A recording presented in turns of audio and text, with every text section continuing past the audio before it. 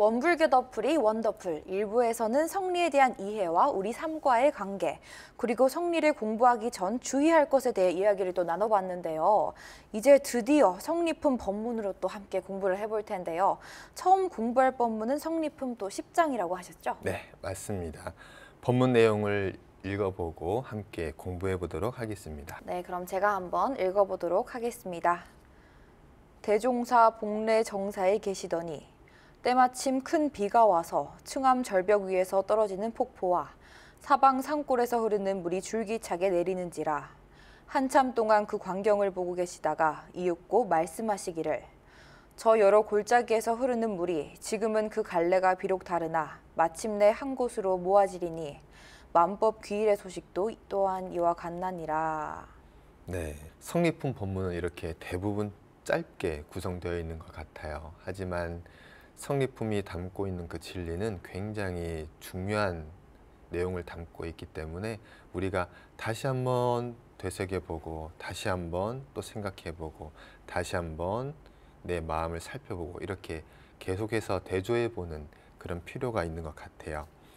어, 재민교우님은 혹시 복례정사가 어디에 있는지 아니면 가보신 적 있으신가요? 아, 글쎄요. 사실 성지라면 어렸을 적에 좀 가봤을 것 같긴 한데 정확하게 기억이 안 납니다. 음, 복례정사라고 하면 이렇게 주소가 이렇게 돼 있다고 하네요. 전북 부안군 변산면 실상동. 예전에는 여기에 그 대종사님께서 계셨던 그 석두암이라는 곳이 이렇게 존재를 했다고 하는데 복례정사라고 이렇게 이름하는 것은 바로 여기를 칭한다고 이렇게 합니다. 왜 복례정사라고 하냐라고 하면 어, 저기 북쪽에는 금강산이 있잖아요. 너무나 훌륭한 금강산이 있는데 이 변산을 어, 어떻게 별칭을 부르냐면 소금강 이렇게 부른다고 해요. 작은 금강산이다. 그런데 금강산에 또 어, 별칭이 있대요. 별칭. 그게 바로 복례산이라고 하는 별칭이 있다고 하네요. 그러다 보니까 여기 이 그 석두암 이 실상초당을 복례정사라고 이렇게 이름을 지, 지었다고 합니다. 대용사님께서 원기 4년부터 원기 9년까지 이곳에 머무르시면서 음, 초창기의 인연들을 만나시기도 하고 또한 여기에 머무시는 동안에 그 초기에 우리 교서들 공부를 어떻게 지도할 것인가 하는 그런 내용들을 이곳에서 이 시간 동안 어, 집필을 하셨다고 해요. 이 법문의 배경은 복례 정사에서 이렇게 하셨던 법문이기 때문에 이 시기 그 어느 날쯤 될 것 같습니다.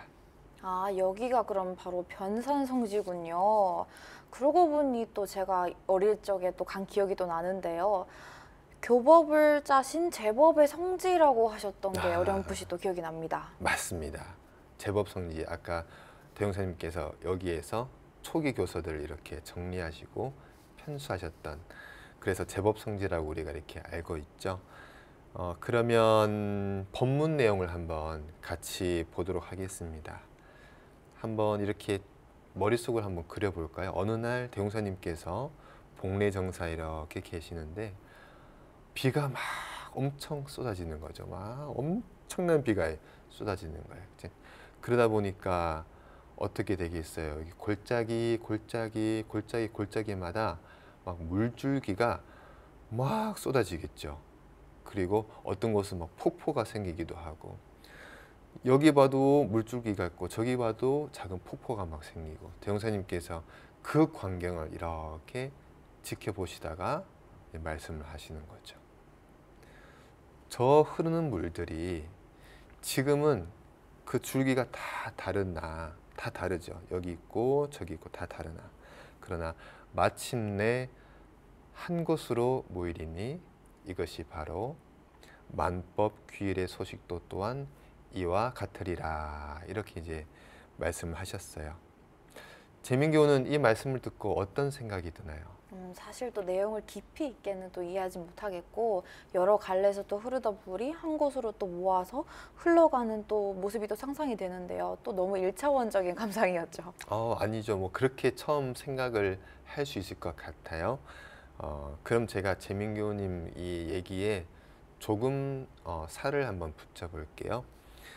재민교님이 생각하신 것은 이제 인과의 세계에 따라서 내가 그렇게 배웠던 관념적으로 이제 그렇게 한번 생각을 해보는 것이고 그것이 아니라 불생불멸의 자리에서 우리의 성품 자리에서 있는 그대로 드러나는 것을 통해서 이렇게 보자면 이쪽의 계곡물은 이쪽으로 흐르고 저쪽의 계곡물은 이제 저쪽으로 이렇게 흐르고 있죠. 근데 이 무수히 많은 물들이 모여서 한 곳으로 모인다고 했어요. 이것이 한 곳으로 모인다고 했는데 그곳이 어디일까요? 또 이게 강으로 또 흘러 들어가지 않나요? 음. 또 어릴 적 배운 동료가 생각이 나는데요. 음. 시냇물 모여서 큰 강물, 음. 큰 강물 모여서 바닷물 이게 또 생각이 나네요. 오랜만에 저도 그 동료를 한번 들어보네요. 어, 그렇게 우리가 이렇게 동료가 생각나는 것, 어딘가에 모인다는 이런 느낌, 이런 것들이 다 인과의 세계를 통해서 우리가 그동안 가져왔던 관념들로 이미지화 시켜 보는 거죠. 근데 대종사님께서 지금 이제 물어보시는 것은 그렇게 이 강들이 모여서 어떠한 오대양 큰 바다로 흘러가서 거기에서 이렇게 모인다. 이런 의미일까요? 글쎄요, 사실 지구 안에는 오대양이 물이 모이는 곳 중에 또 가장 큰 곳이니까 그렇지 않을까요? 네. 그렇게 생각할 수 있는데 한번 제가 계속해서 이렇게 힌트를 드리는 것처럼 어, 인과의 세계에서 이렇게 보는 관점이 아니라 불생불멸, 우리의 자성 자리, 나의 성품 자리, 불생불멸의 자리, 분별성과 주착심이 없는 자리, 경계가 없는 있기 전에 어, 심지 자리, 그 자리를 그대로 이렇게 한번 드러내보고 한번 한 곳으로 모아진다. 한 곳으로 돌아간다. 이렇게 한번 생각해 보세요. 아, 또 교무님 말씀을 듣고 보니 또 그렇네요. 사실 저는 모은다는 것에 또 집중을 했는데 모이고 모아서 어디 더 큰 곳으로 가게 되는지 생각을 자꾸 하게 되는데 그쪽이 아니라 사실 모아지는 것 자체에 초점을 맞췄어야 됐네요. 네, 어, 모아진다는 표현에 자꾸 이렇게 초점을 하다 보면 자꾸 상상이 가는 거죠. 그런데 어, 한 곳으로 돌아간다라고 이렇게 하면 조금 더 어, 표현이 적절하지 않을까 이런 생각이 들어요. 앞서 우리가 공부했던 우주 만물 모든 존재가 돌아가는 자리, 시작되는 자리, 그 자리. 어, 나의 삶에 비춰보면 나의 모든 감정과 생각이 비롯되는 자리, 그리고 다시 사라지는 자리. 이렇게 보면 불생불멸의 진리 자리에서 비롯이 되고 또 불생불멸의 이 자리로 이 하나의 자리로 다시 돌아가는 거죠. 그 자리를 일러서 이제 한 곳 그리고 그곳으로 돌아간다라고 이렇게 하는 것이죠. 아, 뭔가 좀 알 것 같은데요. 본연 자리로 또 돌아간다는 것이겠죠? 네, 본연 자리, 본원 자리, 자성 자리, 원래 성품 자리, 원래는 없건 많은 자리 이렇게 모든 다양하게 이렇게 표현할 수 있는데 그런 표현들에 자꾸 이렇게 생각을 하게 되면 엉뚱한 데로 갑니다. 계속 엉뚱한 데로 가요. 어? 자성 자리? 어? 심지 자리? 어? 경계가 없는 자리? 어? 불생불멸의 자리? 자꾸 이제 다른 곳으로 가기 쉬워요. 그래서 이런 이야기가 있을 때 바로 지금 내 마음을 봐야 됩니다. 지금 내 마음을 바로 보고 지금 내 마음에서 이 마음은 어디서 시작되는가? 그리고 지금 내가 생각하는 이 생각들은 이 마음들은 어디로 사라지는가? 그걸 이렇게 봐야 됩니다. 바로 그 자리입니다. 여기에서 천 갈래 만 갈래의 수많은 생각들이 여기서 나오고 그 생각들은 머물렀다가 또는 행동으로 발현까지 되고 그리고 천 가지 만 가지로 이렇게 뻗어나가는 것처럼 천 가지 만 가지의 결과물들을 만들어내지만 결국은 다시 한 곳, 이 자리로 여기로 돌아가지요. 이 자리에서 이 자리로 사라집니다. 사라진다는 말은 어떻게 보면 안 맞죠. 이 자리로 저장이 되는 거죠. 어, 그런데 혹시 재민교님은 어제 어제 있었던 일들이 혹시 다 이렇게 기억이 나시나요? 아니요. 사실 요즘은 뭐 1년 전, 10년 전 과거로 갈 것도 없이 어제 기억도 잘 안 나더라고요. 몇 개, 몇 개 큰 사건만 기억이 나는 것 같아요. 네, 맞아요. 우리는 어, 어제를 잘 기억하고 있다라고 이렇게 착각을 하지만 그 24시간 중에서 굉장히 단편적인 부분만 기억을 하고 있는 거지 대부분의 어제의 기억은 잘 못하고 살아요. 그러면 신기하게도 우리가 잊어버린 기억이잖아요. 뭐 과거의 10년, 20년 그 이전의 기억들도 우리가 분명히 잊었던 기억인데 어, 그런데 어느 날 신기하게 그때 그 사람을 만난다든지 그때와 비슷한 환경을 이렇게 만난다든지 그때 그 일에 대한 이야기를 듣는다 그러면은 잊었던 그 감정, 잊었던 그 생각들이 불쑥 이렇게 올라올 때가 있어요. 아까 우리가 그 한 자리로 사라진다고 했는데 완전히 사라지고 없어지는 게 아니에요. 이 자리에 그대로 저장이 되는 거죠. 그대로 저장이 됐다가 반드시 저장이 되었다가 반드시 인연 따라 다시 나오게 되는 곳. 지금은 사라진 것처럼 보이지만 반드시 인과 따라서 다시 전개가 되는 곳. 바로 이 곳, 이 하나의 곳, 이곳으로 돌아간다는 겁니다. 아, 또 그렇게 되는 거군요. 네. 지금 우리의 고요하고 뚜렷한 이 마음의 바탕, 이 자리를 이 하나의 자리, 만법귀일의 자리라고 이렇게 말씀하시는 겁니다. 우리가 아무리 벗어나려고 해도 아무리 이 자리를 벗어나려고 해도 결국 우리는 이 자리로 다시금 모아지게 됩니다. 이 자리로 돌아오게 되고 이 자리를 떠나서는 살 수가 없습니다. 단 한순간도 이 자리를 떠나서 살 수 없습니다.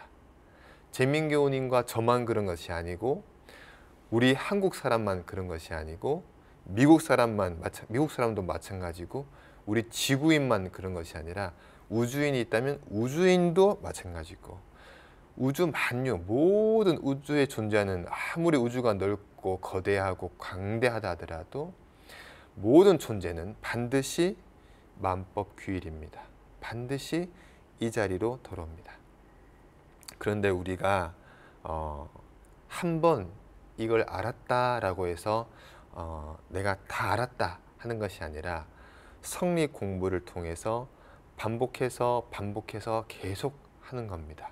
계속 해결하는 연습을 하는 거예요. 해결이라고 하는 것은 앞서 얘기한 것처럼 우리 생활과 생활과라고 하는 것은 지금 여기에서 지금 여기에서 자성의 자리를 바로 바로 보는 거죠. 바로 체험하는 거죠. 그 연습을 계속 하는 거예요. 그래서 우리가 성리 공부를 성리 단련한다라는 이야기, 이야기도 이렇게 해요. 계속 두드리고 두드리고 두드리고 연습하고 연습하고 연습하고 훈련하고 훈련하고 해보는 거죠. 그래서 이 감각을 계속 익혀나가는 게 굉장히 중요합니다. 아, 또 교무님께서는 어떻게 그렇게 제 마음을 잘 알고 계시는지 솔직히 약간 좌절할 뻔했었거든요. 그런데 또 이렇게 말씀을 해주시니까 또 용기가 또 생기네요. 오늘 또 가서 열심히 복습도 해보고 또 덕분에 날 본문도 또 편안하게 들을 수 있을 것 같아요. 네, 우리 재민교님은 뭐 늘 잘하고 계시니까요. 아, 교무님 멘트가 또 너무 스윗하신데요. 그럼 다음 본문으로 자연스럽게 넘어가 보도록 할까요? 네, 그러면 다음 11장 본문을 우리 재민교님의 또랑또랑한 음성으로 한번 봉독해 주실까요? 네, 제가 한번 또 읽어보도록 하겠습니다. 대종사 복례정사에서 제자들에게 글 한 수를 써주시되 변산 구공로의 성립 청수성이라 무무역 무무요 비비역 비비라 하시고 이 뜻을 알면 곧 도를 깨닫는 사람이라 하시니라. 네, 이번 11장 본문도 길이는 짧지만 10장 못지않게 중요한 내용이 담겨 있습니다. 재민교님은 혹시 이 본문을 평소에 알고 계셨나요? 아, 사실 본문의 내용을 제가 다 깨치진 못했지만 뭔가 좀 익숙하게 들어본 내용이라는 생각이 들더라고요. 또 본문을 읽다 보면 저도 모르게 익숙해서 그런지 좀 더 빨려 들어가는 기분도 들고요.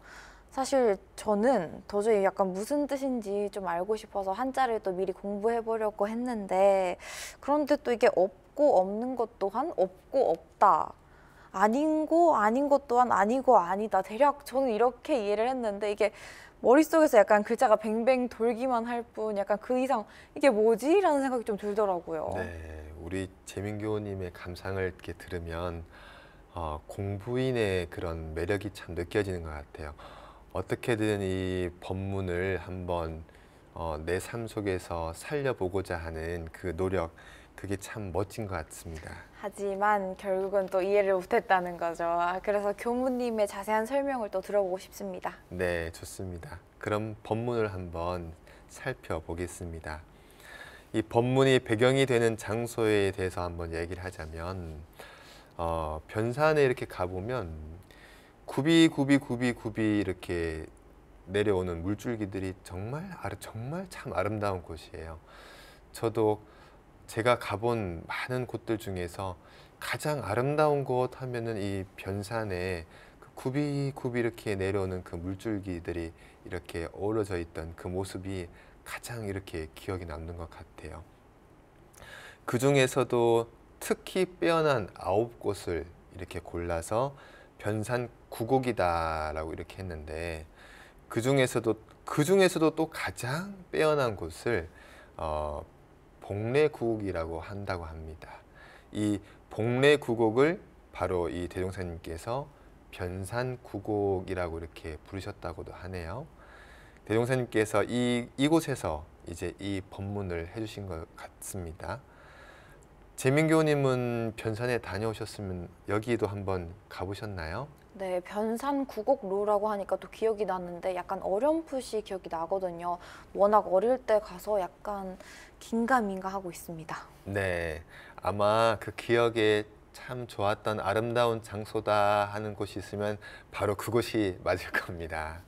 어, 저도 너무 아름다운 곳이다 보니까 그곳을 생각하면은 참 많은 어, 생각과 추억과 그런 그리움이 또 이렇게 떠오른 것 같아요. 그렇지만 이제 그런 것들 잠시 내려놓고 본문으로 다시 돌아가서 그 빼어난 절경에서 그 빼어난 절경에서 대용사님께서 변산 구곡을 이렇게 바라보시면서 법문을 하시는 거죠. 변산 구곡로의 성립 청수성이다. 이거를 그냥 한자를 그대로 직역하면 변산 구곡로에 돌이 서서 물소리를 듣는다. 이렇게 지금 이제 하셨는데요. 또 돌이 서서 물소리를 듣는다고 하시니 혹시 의인화 시킨 건가라는 생각이 들면서도 근데 또 느낌상 또 이렇게 해석하는 게 아닌 것 같은데 아, 좀 상세하게 알려주세요. 네, 그렇죠. 이 성리는 어, 이론상의 진리, 그 중에서도 불생불멸의 진리에 이렇게 포커스가 되어 있다 이렇게 말씀을 여러 번 드렸는데 어, 그래서 우리가 어떤 이런 대웅선님 법문을 이렇게 받들 때에 바로 떠오르는 어떤 그런 관념, 생각 이런 것을 이렇게 쫓아가다 보면 점점점 더 이렇게 멀어지게 됩니다.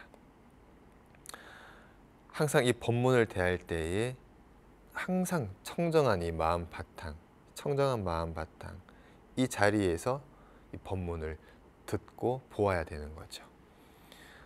의, 의인화한다 또는 뭐 은유적인 표현이다 이런 것들도 우리가 이렇게 학습을 통해서 책을 통해서 공부를 통해서 우리가 이렇게 학습된 우리의 관념입니다. 그러니까 이런 법문들을 보면 학습된 대로 우리가 배워온 대로 그쪽으로 생각이 나가는 게 가장 쉽죠. 근데 그 생각을 나는 것이 나쁘다는 것이 아니라 그 생각으로만 이렇게 골똘히 가다 보면 이 청정한 자리를 놓치게 되는 거죠. 그쪽으로만 가니까요. 그 생각이 나는 것은 당연하지만 그 생각에 매몰되는 것이 아니라 반드시 이 청정한 마음 바탕을 챙기라는 말씀이죠. 마음을 지금 한번 이렇게 챙겨야 됩니다. 지금 마음을 챙겨서 이렇게 한번 보세요. 지금 이 청정한 마음을 챙기면 여기가 지금 여기가 변산 구곡로입니다. 그런데 여기 변산 구곡로에서 성, 성립 청수성이다. 돌이 서서 물소리를 듣는다. 돌만 서서 물소리를 듣나? 아니죠. 돌이 누워서 그 구곡의 물줄기를 부드러운 물줄기를 다 온몸으로 느끼고 있습니다. 돌만 그런가요? 나무는 나무는 누워서 따뜻한 햇살을 즐기고 있어요. 그뿐인가요? 이 햇님은 바스라지는 금화를 막 뿌려서 온 천지를 물들여주고 있습니다. 이런 것들이 어떤 뭐 은유의 표현이다 또는 의인화의 표현이다 이런 것들 이런 것들도 생각으로 만들어내는 것이 아니라 이 청정한 마음 바탕에서 보면 그 모든 것들이 이 모든 것들이 다 그렇게 그려지는 거죠.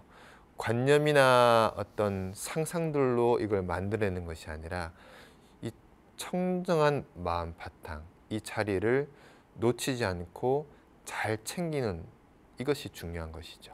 아, 이게 돌이다, 사람이다, 서 있다 이런 개념에서 관념에서 또 벗어나야 한다는 또 다른 생각을 또 가지는 것보다 그 관념에서 나오는 그대로 드러나는 그 바- 마음 바탕, 청정한 마음 바탕 자리를 바라보라는 말씀이시네요. 그렇죠. 이 관념들이 나오는 내가 학습된 대로 바로 이렇게 나와지는 이 관념만 보는 것이 아니라 이 청정한 마음 바탕을 놓치지 말라는 거죠.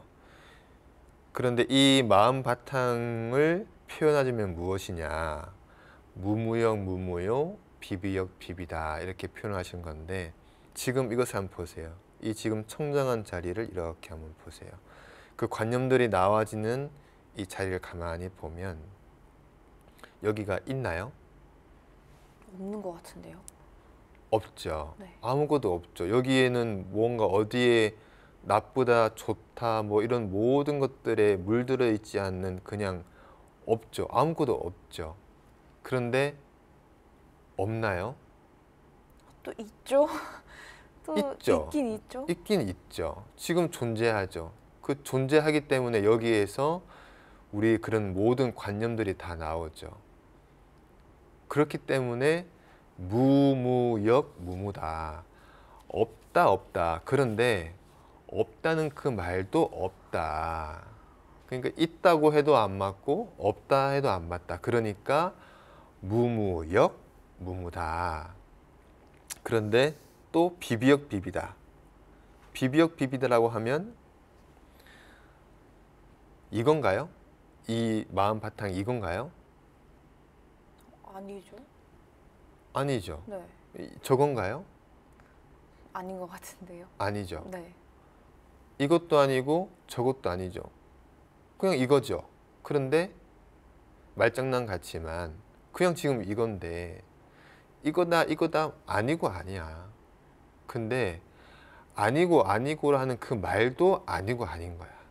그냥 이거 그냥 그거를 봐 이거 이 얘기신 거죠. 그래서 비비역 비비죠. 어, 생각으로 이렇게 알려고 그러면 계속 뱅글뱅글뱅글 돌 수밖에 없어요. 무무영, 무무영, 무무영, 무무영, 무무영, 무무 어디까지 가야 할지 몰라요. 비비역, 비비역, 비비역, 비비역, 비비역 이게 뱅글뱅글뱅글 돌아가지고 어디까지 가도 답은 안 나올 거예요.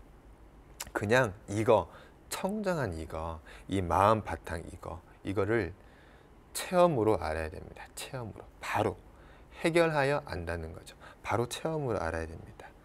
해결한다는 것이 어떤 문제를 풀어서 어, 그 문제를 어, 해결하는 것이 아니라 체험하는 것, 바로 증득을 통해서 안다는 것. 그래서 해결하여 안다는 겁니다.